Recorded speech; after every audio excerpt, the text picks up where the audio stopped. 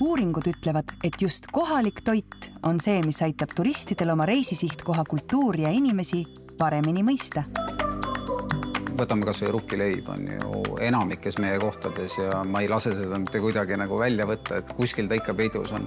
ja kindlasti ka muud äh, huvitavad, põnevad äh, kohalikud asjad, mis teevadki selle just nimelt, et selle regiooni äh, toiduks. Okko restoranid on aasta turismiedendaja kaks tuhat kakskümmend neli. kas nad pälvivad ka aasta ettevõtte tiitli, selgub teisel novembril vaata auhinnagala ülekannet kell kakskümmend üks kolmkümmend viis Eesti Televisioonis